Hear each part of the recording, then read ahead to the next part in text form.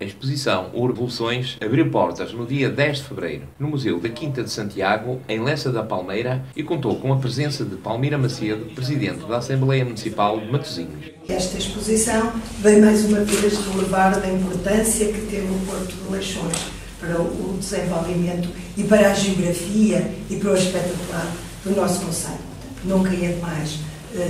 frisar, eh, relevar essa importância e que melhor local do que este, onde estamos a observar eh, diretamente aquilo em que ele se transformou hoje e que podemos fazer o contraponto entre aquilo que ele é e aquilo que, que ele começou por ser e quais foram as influências que ele teve no nosso no, no desenvolvimento do nosso Conselho. A exposição, que assenta integralmente na coleção de arte da Câmara Municipal de Matosinhos, estará patente até 6 de maio e apresenta um conjunto de obras que retratam as transformações urbanas em Matosinhos durante o final do século XIX e a segunda metade do século XX.